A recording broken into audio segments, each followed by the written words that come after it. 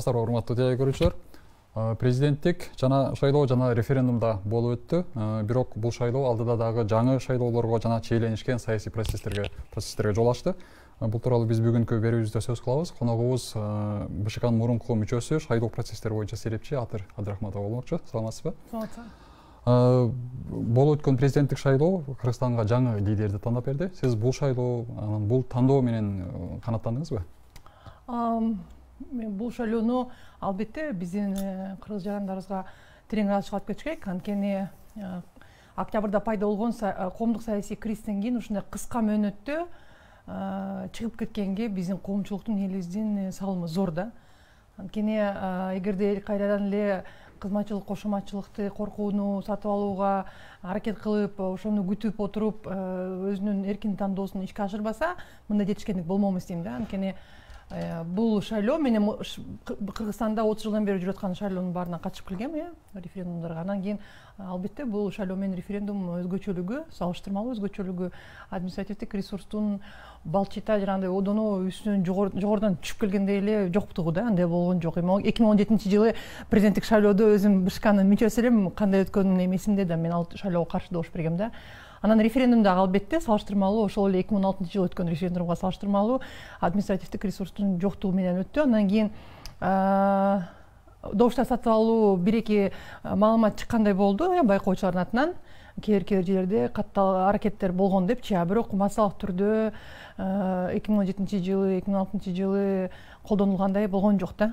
Анан албетте бул добуш берүү күнү айтам да. Анан тилекке каршы үгүт э, маалында э, кызматчылык мындай кызматчылык менен кошоматчылыктын аркасы менен чыккан э, окуялар го деп ойлойм да. Анткени ошол азыр эми бийлик адамдар алмашып атканын түшүнгөн ошол кызматтагы адамдар жакшы көрүнө алайын деп кайрадан эле көнгөн адатынча мугалимдер менен дарыгерлерди үгүт иштерине аралаштырып алып келди ташып келди деген маалыматтар чыгып атышпадыбы анан бул эми жер жерлерде бир беш алты факты болду да. Эми маалымат чыкты да ушул боюнчачы анан ал адамдарды сөзсүз түрдө азыр башкы прокуратура териштирүүсүн бүткөндөн кийин аныкталса менин пикирим боюнча аныкталбаган күнү да ушундай маалымат чыкса ошол кызматта турган адам четтетилиши керек да жумуштанчы мындай ошол үгүт маалында ошондой дагы бир эки сигналды бийлик тараптан кетсе абдан сонун болмок анда такыр эле бул шайлоого эч ким эчтеке деп тийише алмак эмес деген тилектемин да анан кийин бирок үгүт маалында ошондой болду анан референдум боюнча бир аз менин оюм боюнча үгүттөөчүлөр үгүттөөчү группаларга тең укуктуу шарт түзүлгөн жок да анчалыкчы ага албетте борбордук шайлоо комиссиясы жооптуу анткени добуш берүү күнү ошол референдумга эл шайлоого келген эл президенттик шайлоо боюнча албетте маалыматы бар. Бирок референдум тууралуу анчалык маалыматы жакшы жетиштүү эмес. Андан кийин ошол тандоосун тандоосун кылгандан кийин кандай келечекте кесипеттерин алып келе тургандыгы тууралуу да маалымат жок да элдечи анан бул тууралуу көбүрөөк иш алып барганда көбүрөөк ошол үгүттөөчү топторго ошол эле медиа мейкиндигин бергенде балким эл көбүрөөк катышып башкачараак жыйынтык болушу мүмкүн болчу да. Ушул э, мүмкүнчүлүктөр бар жетишпегендиктер анан эң эле мындай э, таң калтырганы мен ойлогон эмесмин мындай болоорунчу добуш берүү күнү ошол административдик ресурс менен добуштар сатып алуу жоктугунан шайлоо комиссиярынын ишмердүүлүгүнүн чабалдыгы көрүнүп калды да. Эми ушунчалык деңгээлде автоматикалык урналардын э, ишинен чыгышы андан кийин байкоочуларга болгон участкалык шайлоо комиссияларынын мындай кысымдары чектөөлөрү көп болду да тилекке каршы. Эмне себептен мындай болду мен түшүнбөй турам анткени участкалык шайлоо комиссияларына мен эми айтып кеткендей добуш берүү күнү үч э, көз карандысыз уюмдарга консультация бердим. Ошол шайлоо процесси добуш берүү процесси боюнча анан ошолордун маалыматына таянып атам да. Анан ошол добуш берүү процесси башталганда эле эмнегедир ошол байкоочуларга убагында киргизбей анан э, сүрөт тартып видео тартканга э, ээн эркин басып көзөмөл жүргүзгөнгө шарт түзүлбөй каршылык көрсөтүлдү да. Анан кийин добуш берүү күнүндө үч төрт жолу участкалык шайлоо комиссиянын мүчөлөрү өз демилгеси менен акт түзүшүп эч кандай мыйзам бузуулар болгон жок деп акт түзүп байкоочуларга кол койгула деп кысташты да анан бул мындай көрүнүштөр эми акыркы жолу мен эки миң жети ошол эки миң бешинчи жылдары көргөн көрүнүштөр болгон да анткени участкалык шайлоо комиссиянын мүчөлөрү негизи эле шайлоо комиссиянын мүчөлөрү ошондой мыйзам бузуулар болгон жок катталган жок деген актылардын аркасы менен кийин сот процесстери же бир нерсе болсо өзүн калкалачу да мына сен кол коюп бербең мына жок деп анан кайсы мыйзам бузуу болуп атат деп айтасың депчи анан ушул көрүнүштөр ошол участкалык шайлоо комиссия негизи эле шайлоо комиссияларынын ишмердүүлүгүн чоң суроо жаратат. Анткени анча жакшы даярдык болгон эмес. Автоматикалык урналар менен иштөөнү жакшы түшүнүшкөн эмес. Же корккон да кармаганданчы анткени өткөн парламенттик шайлоодо дагы жокко чыгарылган э, мен айткам э, ошол урналарды автоматиканы техниканы сактайбыз деп адамдардын укуктарын биздин шайлоочулардын укуктарын чектеген болбойт депчи. Анткени ошол урнанын жанында э, ар бир урнанын жанына жанагындай участкалык шайлоо комиссиясын отургузуп коюп урна ишинен чыгып кетпесин карагыла деп сактагыла деп милдет мындай буйрутма түшкөндөн бшкдан алар урнанын жанына отуруп алчу дагы тиги добуш берүүнүн купуя сырдуулугун бузуп койчу да анан э, автоматика урна киргиздик анан цифровизация кылдык деп көкүрөккө чаап бирок э, адам укуктарын бузган болбойт эле да. А бул учуру жакшы жагы ошондой жанына урнанын жанына отуруп алган э, учурлар азыраак болду албетте. Бирок техникалык жанагындай мүмкүнчүлүктөр болуп улам урналары эми эгерде мурунку референдумга кайрылып кетсек эки миң он алтынчы жылы мисалы аны бшкнын жетекчилиги декабрда болгон э референдумчу. Ошондо бшкнын жетекчилиги ошол кыш болуп суук болгон үчүн урналар иштебей жатат деген э, себеп айткан да. Бул жолкусу күн жылуу болуп берди албетте бөлмөлөрдүн ичи өзгөчө жанагындай чоң спорт э, эмелеринде балким суураак болгондур. Бирок суукка э, суук болду айткандан алыс болушту адамдык фактор деп коюшту анда адамдык фактор болсо демек э, бшк э, участкалык шайлоо комиссияны жакшы окуткан эмес түшүндүргөн эмес ушул урналар даярданган эмес да анан кийин жакын арада чыгат го жанагы клоп медианын отчетунда э, кечинде жанагы жыйынтыктоочу отчетторду чыгарганда эмелер асуунун чектери сапаты начар чыкты да. Бир жери жоголуп бир жери көрүнүпчү. Анан кийин ошол урналардын жанагы картридждерин алмаштырбаганы көрүнүп турат да анан ошондон түшүнбөй турам же бшк акчаны жеп койгон же э, э, э, акчаны короткон эмес да ошогочу ушул жагы таң калыштуу анткени ушул техникалык мүмкүнчүлүктөрдү жокко чыгарганда анда шайлоо такыр эле аябай жакшы өттү деп айтканга мүмкүнчүлүк болот эле. Анан кийин бирок башкысы биздин элге ыраазычылык да. Анткени ошондой таза шайлоо өткөргөнгөчү биз дүйнө жүзүнө ушундай э, кыска мөөнөттө кыргыздар ушундай кризистен чыга алат ынтымактуу чыга алат деген сигнал бердик да дүйнө жүзүнө элестеңер мен мындай шайлоону эки миң он сегизинчи жылы малайзияда көрүп аябай таң калгам да ушунчалык элдин аң сезими жогору бири бирине ишенип шайлоо комиссиянын так ачык иштеп анан ошондо парламенттик шайлоо болуп ошол малайзиянын оппозициясы парламенттин үчтөн эки бөлүгүнө алып кеткен эстеңер ушунчалык элдин э, аң сезими жогорулугу да. Анан кийин алар дагы э, шайлоо күнүнүн эртеси майрам өткөрүшкөн да. Анан бизде дагы майрам болгонуна канчалык эми ар кимдин ар кандай көз караштары бар. Бирок элдин маанайы ошондой майрам маанай болгону абдан жакшы. Анткени кайсы шайлоодо ошондой майрам маанай пайда болчу эле? Э, сиз азыр админ ресурс дээрлик колдонулган жок деп айтып атасыз. Анан сөзүңүздө үч коомдук уюмдун мониторинг байкоосуна таянып атам дейсиз да? Дагы бир катар ошол эле учурда дагы бир катар коомдук уюмдар админ ресурс э, бир топ жерде колдонулду бир топ учурлар болду фактылар үгүт маалында. айтып атышат. Үгүт маалында. Ошол учурда эл аралык уюмдар деле бир э, саясий атаандаштык тең салмактуу болгон жок деген пикирлерди айтышты. Бул сиз ушундай Э, билдирүүлөр менен макулсузбу? Эл чындыгында эркин тандоо жасай алдыбы же элдин эркин манипуляциялоо же ошо бурмалоо болдубу эркин эл эмнеге элге ыраазычылык айтам? Анткени менин оюм менин пикирим эл эркин тандоо кыла алды жыйынтыктар белгилүү болгону анткени жеңип чыккан талапкер азыркы учурда мындай элдин алдындагы бир өзүнчө герой катары образда болгону ага чоң мындай мүмкүнчүлүк э, башка талапкерлер арасында чоң мүмкүнчүлүк берди анан башка талапкерлер менен э, мисалы айтып атпайсызбы үгүт э, жана административдик ресурсту айтып атпаймынбы үгүт маалында беш алты жерде ошондой маалымат чыкты э ошол өзгөндө токмокто мугалимдер менен врачтарды тиги үгүт иштерине катыштырды депчи. Ошого убагында эсиңерде болсо мен муну бшкнын мүчөсү катары талап кылып келгем. Мыйзам боюнча беш күндүк мөөнөттө бшк чара көрүшкө келе да кайрадан эле көнгөн адатынча тилекке каршы бшк ал боюнча так маалымат.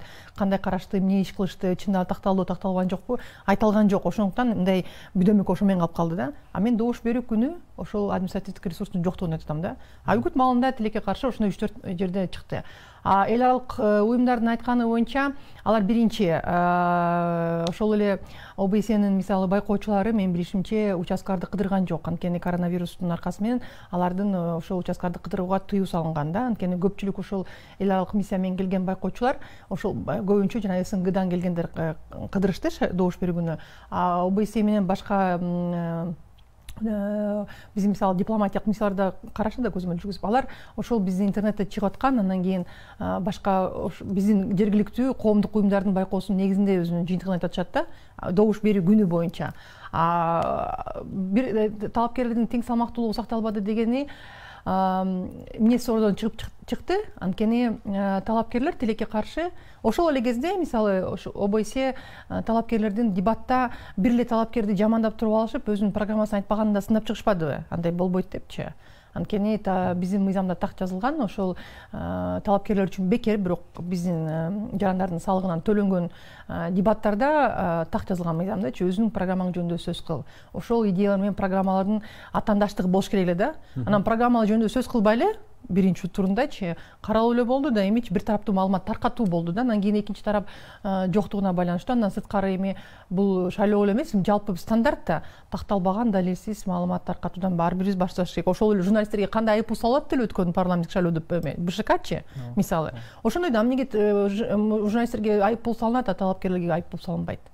Бул кайдыгерлик да бышкан олардын өз учурунда мисалы азыр ктркнын журналисттерин э, күнөөлүү кылып чыгарып коюшпадыбы? Бирок мыйзамга шайлоо мыйзамдарына кирген акыркы өзгөртүүлөр негизинде ошол эки миң он тогузунчу жылы кирген го дейм. Бшк э, журналисттерге ошол дебаттарды өткөрүү боюнча тартипти бекитип беришет болчу. Методикалык жардам көрсөтүшет болчу. Анан алдын ала ошондой иш жүрүлбөгөнү түшүнүп турат да анткени биринчи турда журналисттер унчукпай туруп беришти да. Тиги талапкерлер бири бирин субап каралаган материалдар каралаган маалымат айткандачы өз учурунда токтотуп ошол талапкерлер менен талапкерлер да бир жагынан эми бул кандай десем кош стандарттуулук да. Мыйзамды билбеген мисалы адам кантип президент болом дейт? Эми сөзсүз мыйзамда жазылган нерсени бишкекте окуш керек.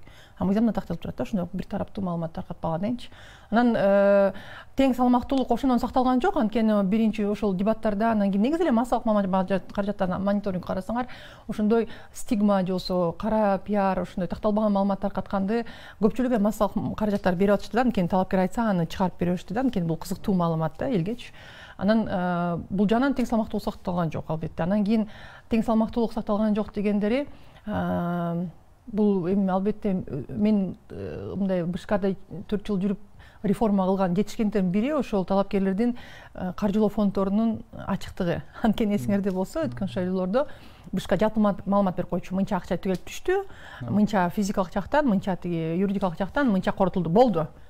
Төрт жыл ошо менен кыйылышып отуруп мен ар бир түшкөн тыйындын аркасында ким турат ар бир чыгым болгон тыйындын тыйын каяка кеткенин ачыкташыбыз керек деп э, төрт жыл кырылышкан бшкдачы анан ошол э, жетишкендиктин аркасы менен элибиз э, журналисттер дагы канча кайсы талапкер каяктан кандай акча жардам алды анан каяка короткондугун көрүп турду да. Анан акча каражаттардын көпчүлүгү ошол жапаровдун айланасында болду да.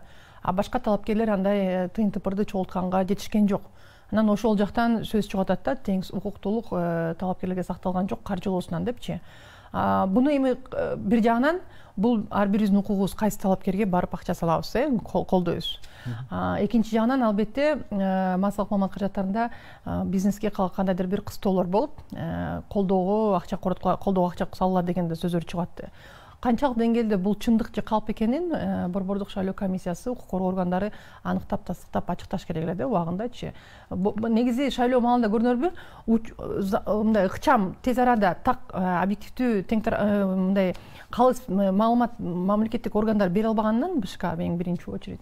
Элде ошондой бүдөмөлүк калып кала берет да балким ушундай болгонго дегенчи ошон үчүн бул эми биздин ошол шайлоолорду уюштурган органдардын жоопкерчилиги сөзсүз түрдө убагында убагында ар бир суроону мен бшкдан эсиңерде болсо ар бир арызды көтөрүп чыгбай беш мүнөт беш күндүк мөөнөт өтүп атканда жыйынтыгы эмне болуп атат деп дайыма такылдап жүрчүмүн азыркы кезде мындай болгон жок да кайра эле мындай э, мындай кандай десем э, шайлоо комиссиялары отурду а процесс өзүнчө эле жүрө бергендей болду да андай болбойт сиздин сөзүңүздөн азыр мен э, борбордук шайлоо комиссиясынын дарегинде бир нече сындарды байкап атам да.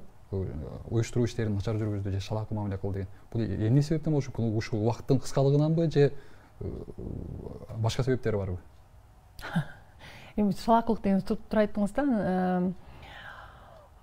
жеке менин пикирим ушул төрт жылдык бшкдагы болгон мүчөлүктүн тажрыйбасы негизинде.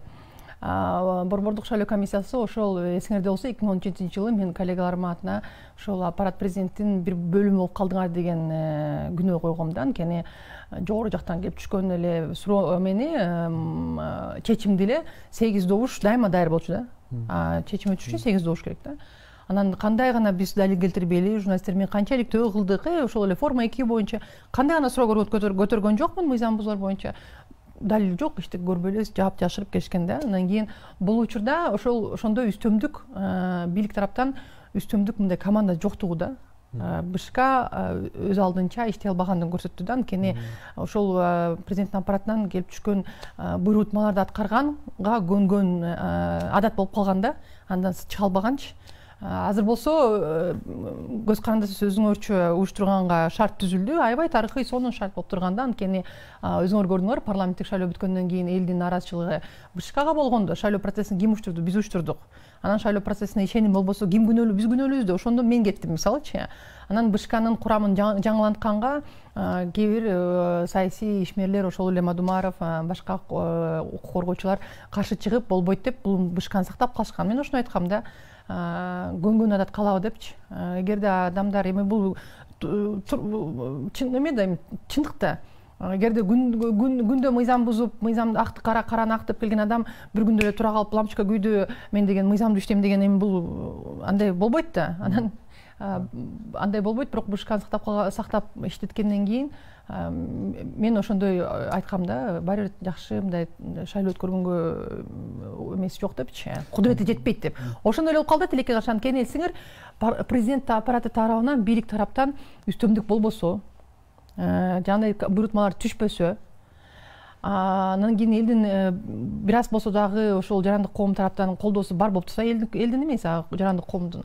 Колдоосу болуп турган маалда бул тарыхый мүмкүнчүлүк эле да өздөрүн актаганга мыйзамдуу иштегендин ошол принциптерин көрсөтүп өткөргөнгө бирок октябрь окуяларынан кийин бшкга карата бир нече үстөмдүк аракеттерин айтып чыгышкан да. бул болбойт ошол президенттик аппарат тарабынан укук коргоо органдары тарабынан аракеттер болуп атканын айтып атышкан болчу. Бул так маалымат эмес биринчиден экинчиден эгерде так маалымат жанагы бакыт аманбаев да айтып атышкан. Бизге чалды деп. билем укук коргоо органдары бул эми ал тараптын пикирин айтып атасыз да калыс пикир эмес да алардын позициясын айтып атасыз бул э, сунуш э, мисалы ошол октябрдык окуя болгондон кийин мен жээнбеков президент болуп турган маалында менден чыккан сунуш. Биздин конституцияга ылайык борбордук шайлоо комиссиясы президенттин президенттен жогорку кеңештин көпчүлүк коалициясынан анын оппозициясынан түптөлөт да. Анан эгерде парламенттен келген бшкнын мүчөлөрү алмаштырууга мүмкүнчүлүк жок болсо конституцияда так жазылып турат президент өзү көрсөткөн төрт мүчөнү кайтарып алып жаңы мүчөлөр көрсөткөнгө укуктуу деп ошол сунушту мен жээнбеков президент болуп турган маалда азаттык аркылуу билдиргем да бар. Анан кийин тиги президент жээнбеков шаар эле алмашып кеткенден кийин жапаров милдетин аткаруучу болуп калганда алардын аппаратынан ошондой сунуш келип түшкөн жогорку кеңешке анан ошол сунуш ишке ашпаш үчүн ушул конституциялык берененин иштешин башка нукка буруп сиз айткан ошондой пикирге келтиришти да болбойт депчи андай эмес бул конституцияда көрсөтүлгөн эгерде биз айтып атпайбызбы азыр көпчүлүк мына коллегаларым юристтер айтып атпайбы конституция негизги мыйзам а конституциянын беренелери так э, түз аткарылыш керек эч кандай кандайдыр бир шылтоосу жок мыйзамдарга аралаштырбайчы анткени конституция бул эң жогору юридикалык күчкө ээ мыйзам да. Ошол бшкнын төрт мүчөсүн алмаштырыш дагы конституцияда жазылган нерсе да. Бул мыйзамда же болбосо кайсы бир өкмөттүн же э, президенттин жарлыгында жазылган нерсе эмес конституциялык берене ошол талапта ишке ашырбаш үчүн ошондой болуп атат деп чыгышты биринчиден бул жалган экинчиден алмаштырганга толук кандуу укугу бар болчу. Алмаштырса балким азыр шайлоо өнөктүгү мындан да таза өтмөк да анткени ушул бир бир тараптуу иштеп калган адамдарды алмаштырып анткени мен ойлогом биздин жарандык коомдун арасында ошол эле адилет укуктук клиникасында абдан күчтүү шайлоо мыйзамдарын билген э, юристтер бар э жаштар бар. Эч кандай саясий э, иштерге аралашпаган мисалычы. Ошолордон жаңы төрт адамды мисалы алып келгенде эсиңер мен да кеттим беш адам келгенде такыр башка нукта мындан да сонун өткөргөнгө мүмкүнчүлүк болмок да. А укук коргоо органдары албетте бул эми алардын чабал иши. укук коргоо органдары баардыгыбызга мага дагы тил кат жөнөтүшкөн экен жанагы эмеге келип маалымат бергиле депчи. Ал ал ошол бшкнын мүчөлөрүнө карата козголгон иш эмес. Ал ошол бешинчи алтынчы октябрда болгон окуяларга байланыштуу козголгон иштин аркасы менен аларды дагы чакыртышкан да. Кайра да көрдүңүзбү ошону тең тараптуу калыс э, маалымат бергендин ордуна өздөрүн сактап калыш үчүн бир тараптуу маалымат беришкен. Биринчиден экинчиден албетте укук коргоо органдары өздөрү дагы ошол көнгөн мурунку адатынча эле кирип барып эле ызчуу көтөрмөй да колуңарда тиги акча бар анан тигинди камера деген ошол иш менен эле кетип атышкан да ал да туура эмес. Албетте укук коргоо органдары мындай биз негизи эле милицияны реформа кылыш керек дагы жарандардын ошол укуктарын жогору койгон балуу катары кылган э, жарандык милиция кылыш керек да мындай жанагындай куралдуу күчтөр полицейский кылбайчы куралдуу күчтөрдүн мындай адаты менен эле кетире бербейчи а биздин мыйзамдар боюнча тилекке каршы милиция дагы эле ошол куралдуу күчтөр ошол солдат армияга окшош эле да алардын тартибичи иштөө тартиби анан алардын чабалдыгы. Алар туура так алдын ала э, маалымат берип кирип болушунча. Мисалы кирди макул э, менин билишимче э, милиция кызматкерлери жанагы эмеден көрсөтүштү го сүрөттөрүн. Жалпы бөлүмдүн иш кагаздарын алып кетишкен. Жалпы бөлүмдө кандай иш кагаз бар? Эч нерсе иш кагаз жок бул расмий кагаздар. Мисалы алар э, ошол укук коргоо органдарынын кызматкерлери шайлоо комиссиясынын ишмердүүлүгү анан кийин шайлоо процессинин жүрүшүн түшүнбөгөнүн да көрсөтүп турбайбы? Анткени мен мисалы текшергенде сөзсүз түрдө жанагы шайлоочунун тизмеси менен болгон ишти текшермекмин. Анткени тилекке каршы жанагындай форма эки менен болгон манипуляциялар бшкнын ичинде жанагы электрондук системаларда көрүнүп турат да ким канча жолу идентификация болду ким каяка катталды эмнеге катталды экенчи көрүнүп турат ачык. Ошону иликтеш керек эле да анан ошону биз мен канча талап кылдым нерселер менен иликтөө кылып. Жокко чыгара ал депчи форма экини жанагы төрт жүз миңден ашык беш жүз миңге жакын болуп кетпөдү бшкга барган жок. Эмнеге барган жок? Ошого укуктук баа берилиш керек болчу. Андан сырткары парламенттик шайлоодо тилекке каршы шайлоо комиссияларынын жанагы чектерин бекитип атканда шайлоочулар жок участкаларда бекитилип калган да. Мисалы чоң арыкта бир шайлоо участкасында кырк эле шайлоочу бар болсо жакынкы участкасында бир миң тогуз жүз шайлоочу бар. Андай кылып чектер бекитилбейт бул мисалы ал мен көрдүм бул атайын кылынган менин пикирим боюнча анализим боюнча бул атайын кылынган манипуляция жанагындай форма эки менен жанагы бош участканы толтурганга аракет да. Анткени кырк менен эстеңиз кырк болсо калган эки миң төрт жүз элүү дагы адам толтурганга мүмкүнчүлүк болгон да ошону толтурушкан ошентип форма эки менен ошол оюндарды жокко чыгарыш керек эле да милициячы мисалы эмне отурушат азыркыга чейин э, чечим чыга элек эмне болуп атат түшүнүксүз да. Бул жолку добуш берүүгө келген шайлоочулардын көрсөткүчү да аябай төмөн болду да. Э, кырк пайызга жакын келип катышты жалпы шайлоочулардын а дээрлик алтымыш пайызы катышкан жок. Шайлоочулар мынчалык пассивдүү болушуна эмне негиз болду? А негизи менин пикирим кайра эле менин оюм да бизде өткөн шайлоолорго байланыштуу. Бул реалдуу көрсөткүч. Эмнеге мурункулар мурунку шайлоолор дагы акыркы э, эки миң он жетинчи жылкы президенттик шайлоону карасаңар элүү үч процент келген. Анда бирок шайлоочулардын саны жети жүз миңге аз болчу азыркыдан. Ошон үчүн шайлоочулардын саны көбөйгөндөн келген явкасы азайды да. Келгени окшош эле бирок ал маалда эгерде эки миң он жетинчи жылды карасак ал маалда форма эки бар болчу. Анан тилекке каршы эки миң он жетинчи жылы шайлоону эстесеңер административдик ресурс менен кошо тыйын тыпырык таркатылган. Ошол эле административдик ресурс тараптанчы элди ошондой кандай десем кызыктырып алып келген кызыктап алып келишкен да. А биздин элде эмгерде өнүккөн европа мамлекеттеринде явка да төмөн да. Бирок аларда экономикалык өнүгүү болуп элдер саясатка кызыкпайт. Анткени ишенет саясатчылардын э ачыктык баардыгы жакшынакай иштеп турганынан. Аларда да ошол кызыктар да явканы жогорулаткангачы а бизде болсо сиз айткандай эле да мындан мурун кылган талкуубузга ылайык шайлоого болгон ишеним төмөн да элди карабайсың кандай добуш бербейин жыйынтыкты өздөрү билишет алдын ала жыйынтык чыгарып коюшкан андан кийин ошон үчүн шайлоого ишенбейм андан көрө тыйын алып калайын деген элде дайыма айтылган сөз болгон да. А бул учур тыйын болбогонунан элдин шайлоого болгон ишеними дагы эле төмөн болуп турганынан эл келбейт да. Анан кийин андан сырткары шайлоого ишеним жок болсо шайлоо комиссиялары жоопкерчиликке тартылбаса ошол эле адамдар болсо кайтадан эми ошондой эле шайлоо болот деген түшүнүк бар да элдечи ошон үчүн барышкан жок да. Андан сырткары албетте сөзсүз түрдө форма экини жойгондору бул саясий чечим болгон. Кайтадан эле ошол шайлоочулардын укуктары чектелип калды да. Анан ошо ички мигранттардынчы. Анан мен жетишпеген дагы бир чоң суроо. Биздин ошол сыртта жүргөн мигранттарыбыздын шайлоого болгон укуктарын кеңейтиш керек да. Тилекке каршы бшк анан расмий бийлик ошол учурдагы бийлик мындай кадамдарга бара алган эмес да анан мен айткан бүт сунуштардын баары четке кагылганда анан ошол беренелер калып калды да бир аз бир аз өзгөртүлдү. Бирок ошол беренелер менен шайлоого бардыгы ошондо бизде эсиңер сыртта жүргөн миллионго жакын мигранттарыбыз добуш бере алышпайт. Анткени шайлоо участкалары кырктан ашык эле түзүлдү. Аларга жетиш абдан оор. Биринчиден экинчиден шайлоочулардын тизмесине кириш үчүн сен дагы катталышың керек. Ошол беренелер калып калды.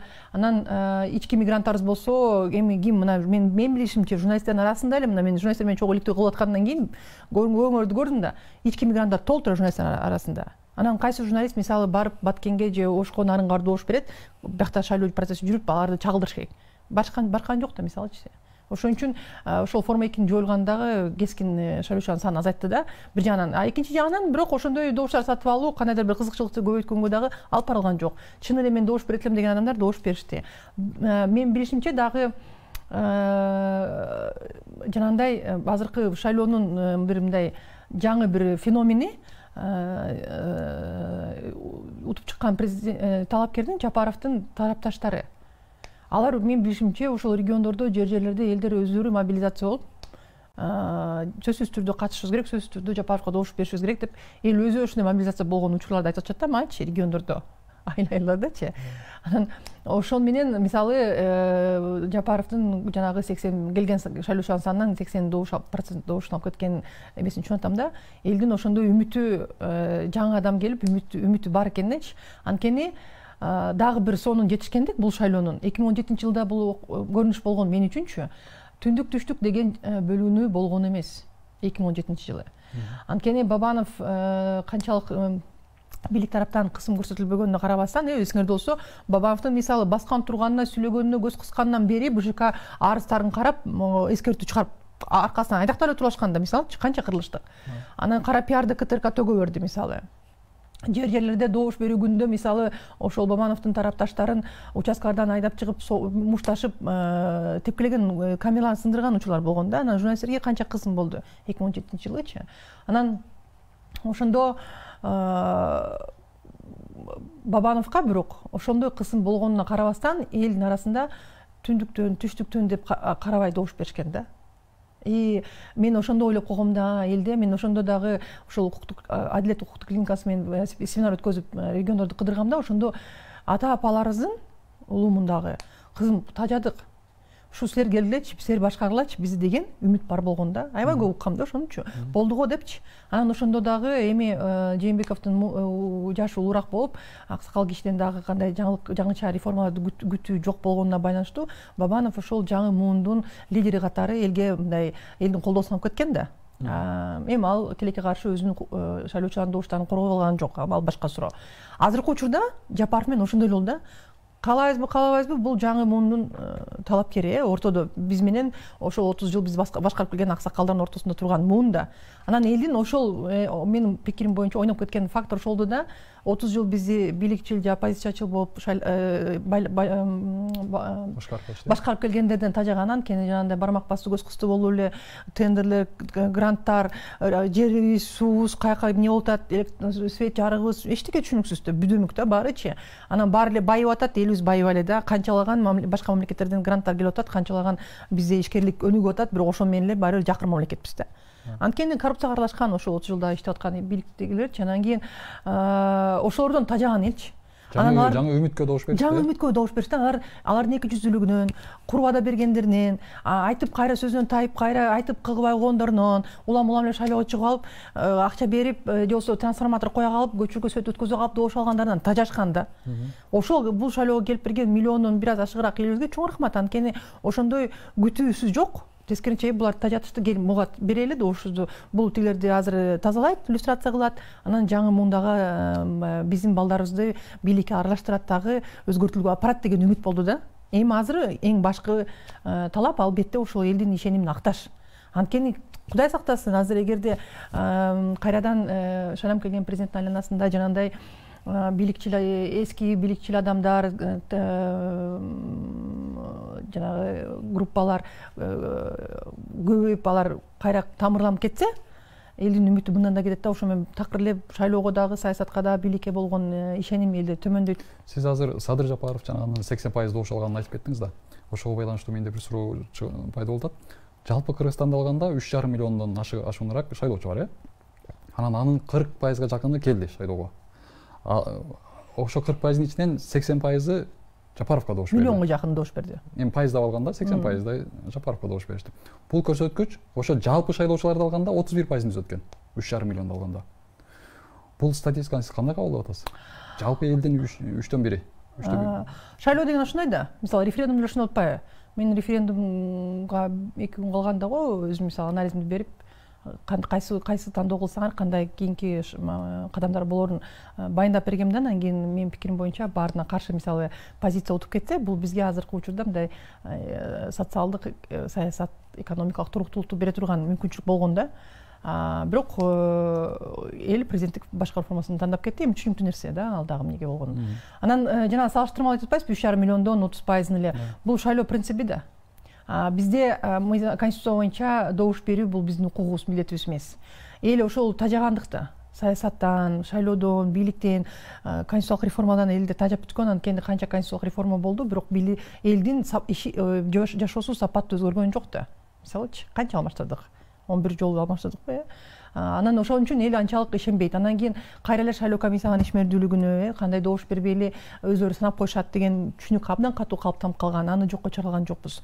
Анан элдин жарандуулугу актив мындай жоопкерчилиги бизде ал милдеттенме кылган э, туура эмес. Анткени эгерде биз азыр биздин элибизге шайлоого катышуу бул милдеттүү деп койсок кайра күч колдонуу административдик ресурска жол берип коебуз да. Бул элдин укугу.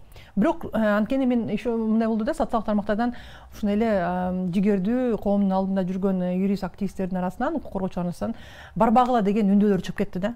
Эң жаманы бойкот кылабыз дегенчи болбойт да бойкот кылганчы сөзсүз түрдө катышыш керек. Анан ошондой элдин арасында мисалы канча жаштарга ошол жаштардын алдында жүргөн лидерлер айтылгандан кийин канча жаштар барбай коюшту мисалычы бишкек мисалы бишкек аябай төмөн болду да андай чакыруулар туура эмес да албетте ар бирибиз мисалы мен деле элдин алдында мындай кандайдыр бир пикиримди билдирип аткандан кийин менде жоопкерчилик чоң сөзсүз түрдө калыс пикиримди айтышым керек барсаңар мындай болот барбасаңар мындай болот өзүңөр ортодон чечим кылгыла депчи а бир тараптуу эле баргыла президенттик шайлагыла же бир баргыла парламенттик шайлагыла же болбосо барбагыла баары алдын ала чечим белгилүү деп айтсаң бул дагы жоопкерчилик да анан барбай койгон элге да жоопкерчилик анткени эми кышта болгон шайлоодо шаар мисалы бишкек эмнеге аз добуш кайра эле ички миграция э? Ички мигранттар көп көп адамдар.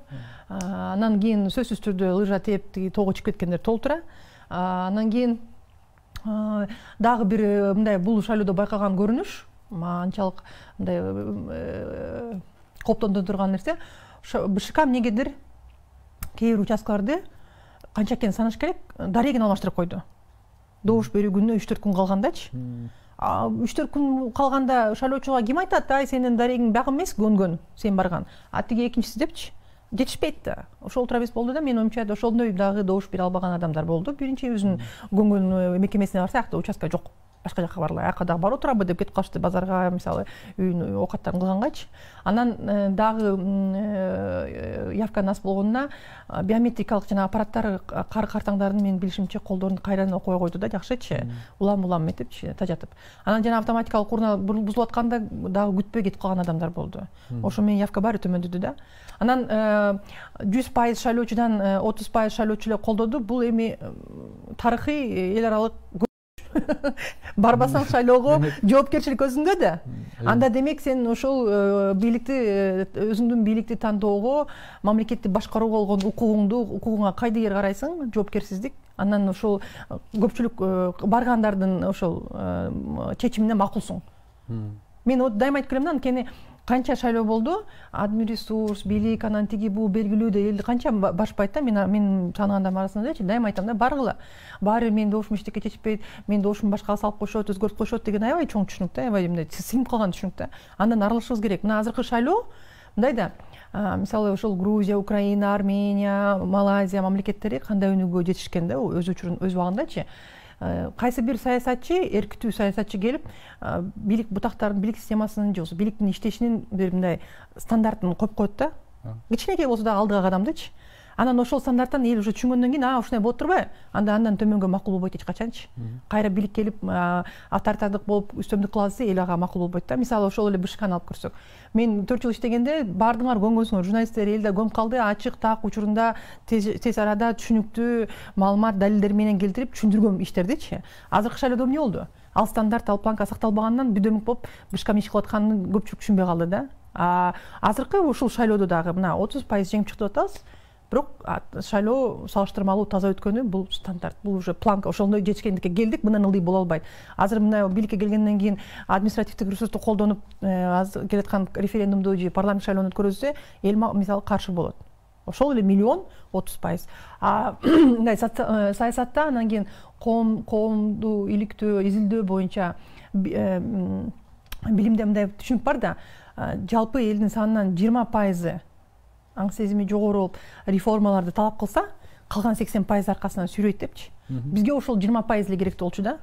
Азыркы учурда биз көрүп атабыз э, отуз пайыз келип добуш берип добушун сатпай же болбосо ошондой акчаны издебей келип добуш бергенге даяр экенчи административдик ресурстан коркпой өзүнүн эркин тандоосун кылганга даяр. Жакшы көрсөткүч демек э, азчылык деле азчылыктын өкүлү деле көпчүлүктү башкара берсе болот эми бул э, кандай десем тарыхый бекитилген мыйзам да эмчи бул мен ойлоп чыккан эмесмин жапаров ойлоп чыккан эмес.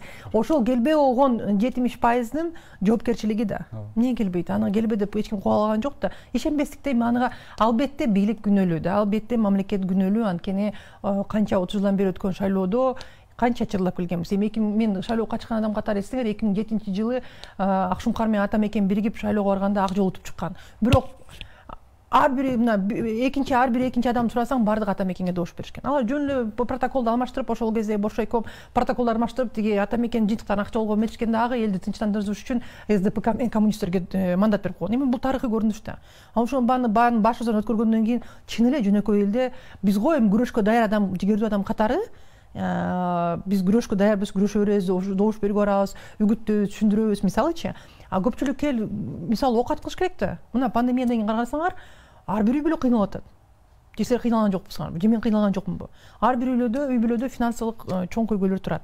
Балдарын азыр мынакей окууга алып барышыбыз керек э, э, мектепке барышмай болушту кыш маалында көмүр сатып алмай чоң көйгөй мен артиште турам мисалычы бизге газды эми өткөн жылы араң өткөрүштү элестеңер бирок дагы деле ал кымбат өткөрүүсү өзү кымбат болгондуктан көп кошуналар өткөрүлө элек кайра эле көмүрдү ал көмүргө акча табышың керек. Балдарыңа тамак ашка акча табыш керек. Анан баарын бул көйгөйдүн баары чечилбегенден кийин эл каяктагы шайлоо өзүмдүн ошол бүгүн болсо барсам дагы базарга соода кылсам дагы акча табайын деген э, ниет да референдумда сиз айткандай эле президенттик э, башкарууну тандады да эл бул тандоо канчалык негиздүү болду сиз ушуну кандай кабылдадыңыз эми айткандай мен каршы баарына каршы деген добуш бергем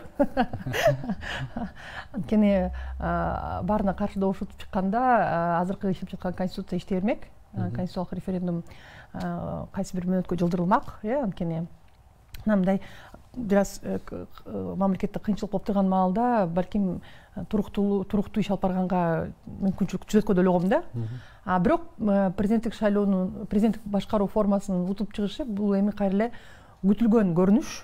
Анткени бизде кайтадан мындан мурун айтып кетпедимби он бир жолу конституциябыз алмашкан. Э конституцияга өзгөртүүлөр киргизилген. Бирок экономикалык абал кайра эле мен дайыма мен сөзүмө айтканда мен элдин чөнтөгүнөн ойлойм да мисалычы. Элдин чөнтөгү өзгөргөн жок. Байыган жанагындай чириген коррупционерлер э, кландар бийлик адамдар байып атышат. Сонун үйлөрүнүн оокаттарын мына көрүп атабыз интернеттен. Башка мамлекеттерде дагы килтеген үй оокаттарын алганга жетишип атышат. Бизди бир өзүнчө мал катары көрүпчү. А жөнөкөй көпчүлүк элде э, өзгөрүү болгон жок да. Анан парламенттик деп атап коюп тилекке каршы моюнга алыш керек муну баардык эле юристтер моюнга алып атышпайбы парламенттик мамлекетте жашап атабыз деп айтып коюп э, биз президенттик авторитардык бийлик убагында жашадык да атамбаев менен жээнбековдун жок жаман атасы парламентаризмге калды и анан кийин жаман атасы парламентаризм болуп калбады ошол эң жаман саясатчылардын ошол ошол азыркы учурда иштеп жаткан саясатчылардын катачылыгы элдин алдында болгон күнөөсү ошол да анткени калп парламентаризм деп коюп туруп күчтүү президенттик башкаруу системасында жашап келип анан парламентаризмди жамандап келишкен анан кийин э, карасаңар мен азыр мисалы э, жанагындай депутаттарды чимкирик анан кийин ар кандай болбогон сөздөрдү айтып атышпайбы мен такыр колдонбойм анткени ошол биздин э, эл башкарган адамдар элди ошондой мындан да төмөн деңгээлге түшүрүп э, аң сезимин билимдүүлүгүн жогорулатуудан ордун ошондой шылуун кандайдыр бир жаман сөздөрдү айтып илип койгонго даяр да анан кийин ошол парламенттин аброюн чүргөн ким эле? Президент болчу да. Ал кездеги атамбаев туурабы анан кийин азыркы иштеп жаткан конституцияда эмнеге биздин парламент алсыз? Анткени азыркы иштеп жаткан конституцияда укук коргоо органдары президенттин карамагында. Анан кийин өзүңөр көрбөдүңөрбү рычаг бар э? Рычаг бар да. Ар бир эле каршы пикир оппозициялык маанайда сүйлөгөн э, депутаттарды бирден бирден тиги акск кнбсынан тигиниси мунусу чакырып башкы прокуратура чакырып кылмыш ишин козгоп мандатын алып коет атса эмне кылышат бирөөнүн алды экөөнүн алды канчасын бир бир онго чакынын алды да ошол эле текебаевди кандай кылышты мисалычы анан ошондой ошондой президенттин укугу бар болгонунан улам парламент аябай алсыз болуп калды коркуп калышты мен ойлойт элем да негизи азыр шайланып келген президентке деле ар бир талапкерге деле ошол азыркы иштеп жаткан конституция негизи авторитардуу бийлик болом деген адамга аябай жагымдуу жагымдуу конституция да азыркычы анан тескери конституциялык реформаларга тиги өзгөрүүгө бараткандары таң калтырат эми бийлик бутактардын тең салмактуулугун сактай турган конституцияны сунуштап ошону өткөрүп алышса анда жакшы да элдин дагы батасын алышат бул азыркы референдум кийинки дагы бир нече шайлоолорго жол салып койду да. Азыр логика боюнча дагы бир референдум болуш керек. Дагы бир президенттик шайлоо болуш керек. Дагы бир э, парламенттик шайлоо турат алдында мындай азыркы башкаруу формасын тандоо боюнча референдум өткөндөн кийин эки жол бар болчу да мен муну алдын ала айткам. Биринчи азыркы иштеп жаткан конституцияга ылайык парламент референдумга чыгарбай эле конституцияны өзгөрткөнгө укугу бар. Тилекке каршы ошондой мүмкүнчүлүктү салып коюп турбуз. Конституцияны өзгөрткөнгөбү же жаңы редакциясын кабыл алгонго өзгөрткөнгө. Бизде азыр биз бирок азыр жаңы редакциясын даярдап атабыз да.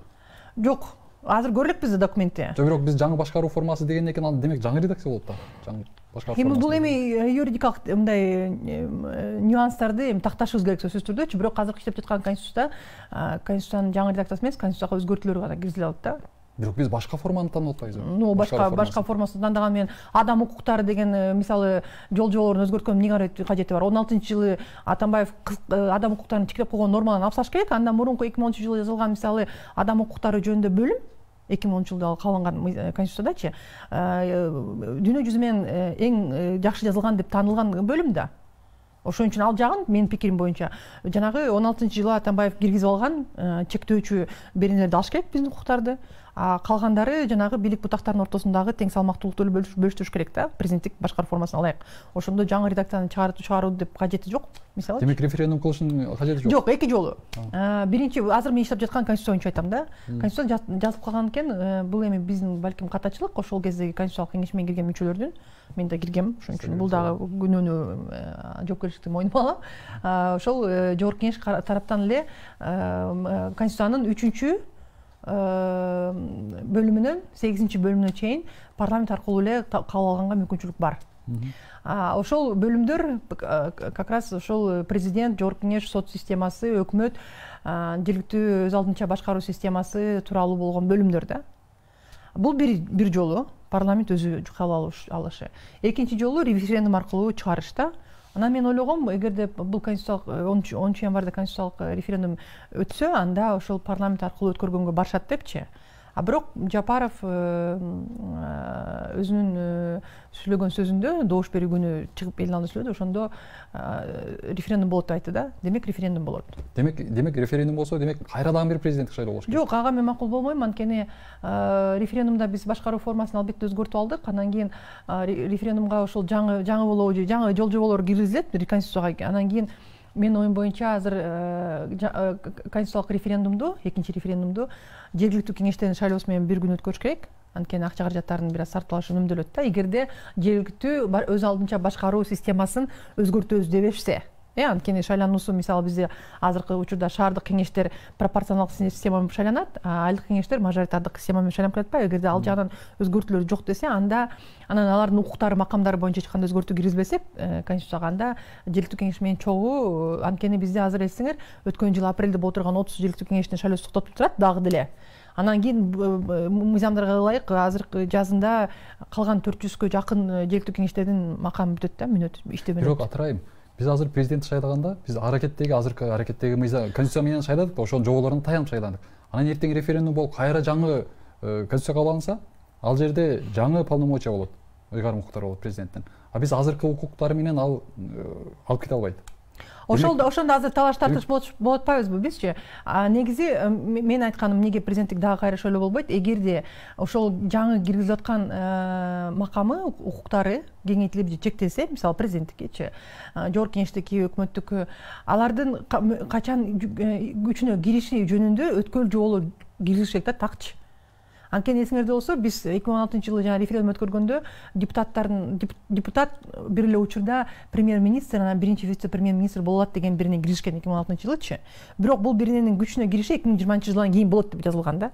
Жаңы парламенттик шайлоо болгондон кийинчи азыркы учурда да ошол конституциялык референдумга барганда ошол эгерде президенттин э, кайсы бир укуктары кеңейтилип же чектелсе жогорку кеңештин укуктары бирок жогорку кеңеш боюнча жаңы шайлоо болот да ошон үчүн аларга кандай деңгээлде өткөл жоболор керек экенин каттакташ керек. Так азыр мындай айтканга пикир даяр эмес да калган эгерде өзгөчө ушул президентке кайсы бир укуктары кеңейтилип же чектеле турган болсо кайсы учурдан баштап күчүнө кирерин так жазыш керек да бирок атырай мындай да. Биз эртең мисалы үчүн майда же июнда референдум кылсак анан ал жерде жазылбайт да онунчу январда шайланган президенттин полномочиясы кеңейет э, анын жаңы конституцияга ылайык болот деп туруп аны мыйзамдын артка күчү жок да ошол ошон үчүн эгерде президенттин жаңы укуктары пайда болуп же болбосо азыркы укуктары азайса кеңейсечи азайса мейли кеңейсе эмнеге азайса? Ага жок. эмнеге силер азайганга макулсуңар кеңейткенге макул жок мен макул деген жокмун. Мен ошон үчүн эки тартип айтпаймынбы ошондой тартип бар экен да. А эгерде кеңейгенде анда совсем башка. Жок. Азайган менен кеңейген экөөнү экөөнү бир караш керек. Анткени бул азыркы шайланган азыркы конституцияда көрсөтүлгөн макамынын өзгөрүлүшү болуп атпайбы укуктарынын өзгөрүлүшү да милдеттердин укуктарынчы мисалы ошон үчүн азаябы кеңейеби эки учурда тең баары бир ошол азая турган же кеңейе турган укуктары кайсы учурда күчүнө кирет дегенди так жазыш керек да. Анткени азыр азыркы конституция менен шайланып келгенден кийин азыркы укуктары бар азыркы милдеттенмелери бар. Ашыкча же азыраак алганга мүмкүнчүлүк жок. Ошон үчүн эгерде жол жобол жанагы өткөл жоболору переходный положение деп коебуз юристтердечи өткөл жол жоболору так жазылып кеңейтилген же кыскартылган макамдары укуктары милдеттери качан кайсы күч кайсы убакытта күчүнө кирет дегендерин так жазышса анда кайтадан шайлоого президенттик шайлоого барганга эч кандай негиз жок да эгерде аны жазбай эле биз шарт эле мына укуктарды кеңейттик жазайыктык ушул конституция менен президент иштеп кете берет десе анда албетте бул чыр жарата турган нерсе. Бирок кайтадан э, президенттик шайлоо болгонуна мен э, биздин азыркы ушул жетишкендикти жокко чыгарганга мүмкүнчүлүк болуп калат да. Социалдык экономикалык мындай элдеги саясий туруктуулук. Биз кайра кризиске кирип кетебиз дагы. Ушуну эске алышыбыз керек. Анткени азыр карасаңар арменияда болгон окуялар э саясий кризис азербайжан менен болгон чыр чатагы анан казакстанда онунчу январда парламенттик шайлоо өттү ызы чуу болуп атышат э. Азыр токтото алышабы алышпайбы суроо анан бизде улам эстеңер азыр биз жергиликтүү кеңештердин шайлоосу конституциялык референдум анан парламенттик шайлоо сөзсүз түрдө. Анан дагы президенттик шайлоодо турган болсок биз быйылкы жылды баардык шайлоодо өткөрөбүз ким иш кылат бюджеттин баарын сарптайбыз эстеңер ошон үчүн бир аз мен түшүнүп турам. Чыр жарата турган нерселер болуп атат. Талаш тартыш болот сөзсүз түрдө анан азыр мен дагы өзүм ушул эки үч күндөн бери ушул өзүм да ойлонуп атам да эл аралык тажрыйбанын алкагында биздеги мыйзамдардын алкагында эч кайсы мыйзамдарды бузбай дүйнө жүзүндө өзүбүздү жаман көрсөтүп албай биздин ушул сактап калыш керек да. Аброюбуздучу кандай бул татаал ситуациядан чыкканга аракет кылышыбыз керек депчи анткени мен менин азыркы пикирим жөн эле сын айтпастан сунуш бериш керек көрүнүп турбайбы азыркы шайланып келген бийлик жакшы идеяларга жакшы сунуштарга суустап турат. Суустап турганын бериш керек ырайым жыйынтыктоочу сурообуз болсун. Кыскараак э, жооп берсеңиз ушул акыркы өткөн шайлоолор парламенттик болобу президенттик болобу шайлоо системасында көйгөй экенин анан элдин ишеними аз экенин баягы көмөй саноолор күч экенин көрсөттү да ушул шайлоо системасын кандайча реформаларга зарыл? Албетте. Жакшы аябай кескин реформаларга барыш керек да. Биринчи ошол бшкнын курамын бекитүү боюнча мен дайыма ойлонуп келчүмүн. Биз азыр үчтөн бир курам президенттин квотасы менен үчтөн бир жанагы көпчүлүк коалиция үчтөн бири азчылыктан болуп атпайбы. Анан мен ойлогом да президентти алып коюш керек бшкнын курамын түзгөндөчү а бирок президенттик башкаруу формасы чыккандан кийин алып койгонго шарт жок да анан азыр ойлоп атам да бшкнын курамы эгерде бшк катары өз алдынча мамлекеттик орган катары кала турган болсо анткени кээ бир мамлекеттерде бшк деген түшүнүк жок да. Ички иштер министрлиги менен статком башка органдар уюштуруп кете беришет да. Өзүнчө орган түзүшпөйт. Биздикилер азыр кандай кадамга барышат билбейм да. Бирок ушул эле азыркыдай бшкнын өзүнчө өз алдынча мамлекеттик орган катары калтыра турган болсо эң биринчи эле сөзсүз түрдө оппозиция парламенттик оппозициядан көпчүлүк мүчө шайланыш керек. Ошол парламенттик оппозициядан шайланган мүчөлөрдүн бири ич ара жетекчиликке дайындалыш шайланыш керек ич арачы анткени буга чейин ошол президент берген квота төрт киши анан кийин көпчүлүк жогорку кеңештин көпчүлүгү берген төрт киши сегиз добуш менен каалаган чечимден алып кете алышпадыбы административдик ресурс болупчу. Ошон үчүн аны жокко чыгарыш үчүн бул эл аралык практика оппозициядан көбүрөөк келип анан оппозициянын арасынан шайланып келген мүчөлөрдүн арасынан жетекчини шайлаш керек да анткени мындай тең салмактуулукту сакташ үчүн биринчи экинчи албетте бизде шайлоо мыйзамдары жазылып турат бирок бул иштебеген норма. Биздин төмөндө турган аймактык шайлоо комиссиялары участкалык шайлоо комиссиялары жарымы өз алдынча жергиликтүү органдардан берилсе жарымы саясий партияларга көрсөтүш керек да саясий партиялар тилекке каршы ушул суроого катышышпайт да дээрлик саясий партиялардын өкүлдөрү бир балким баардык жалпы проценттен бир эки проценти мүчөлөрдүн эки проценти саясий партиянын атынан.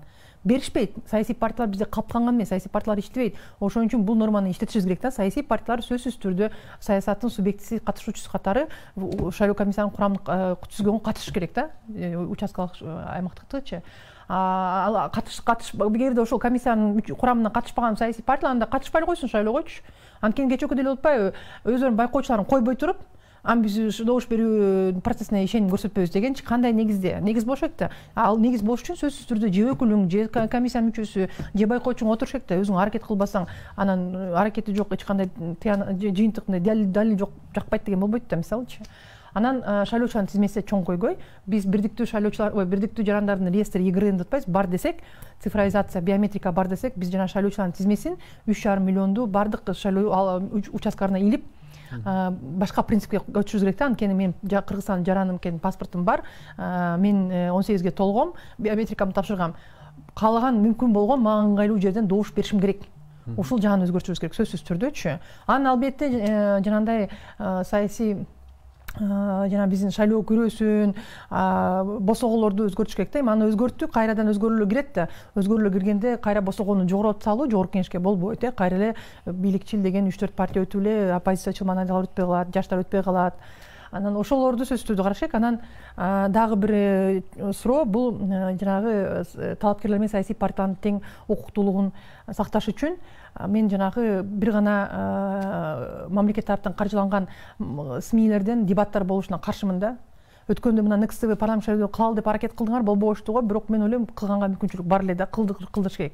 Азыркы келаткан шайлоодо сөзсүз түрдө эгерде жеке каналдар баардык талапкерлерге жанагындай чучуклак өткөзүп тең укуктуу бшк менен бшк болобу кайсы шайлоо органы менен чогуу дебат алып барабыз бекер десе жол бериш керек да анткени ктркдан эле өтө турган дебаттар өзүн актаган жок да анан сөзсүз түрдө каржылоо маселеси эми каржылоо боюнча бизде э, азыркы иштеп жаткан парламент ошол эл аралык стандарттардын негизинде сунуштардын негизинде өзгөртүүлөр киргизбеди мамлекет тараптан э, каржылансын саясий партиялар депчи эми аларды каржылаганга азыр бюджетте акча жок элдин дагы маанайы жок мисалы азыр элге айтып көрөлүчү саясий партияга акча кетет депчи бюджеттен. Эл тутуп алат бийликти дагы саясий партиясын дагычы анткени саясий партиялар иштебейт ошон үчүн бул бир иштебейт бирок талапкерлердин ошол финансылык каражаттарынын сарптоосу боюнча тең укуктуулугун ишке ашырыш үчүн дагы жол жоболорду иштеп чыгыш керек да. Анткени чын эле көрүнүп турат. Бул эми бийликчил деген талапкерге баары бир бизнес болобу башка адамдар болобу. Бул э, психология да мобилизация болуп ошону алкагында эле айналасында иштешип башкалар калып калат да. Бирок башкалар дагы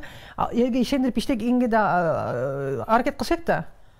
Тиги бийликчил тарап келип эле жамандап тура албайчы бизде электрондук добуш берүү канчалык актуалдуу электрондук добуш берүү боюнча эми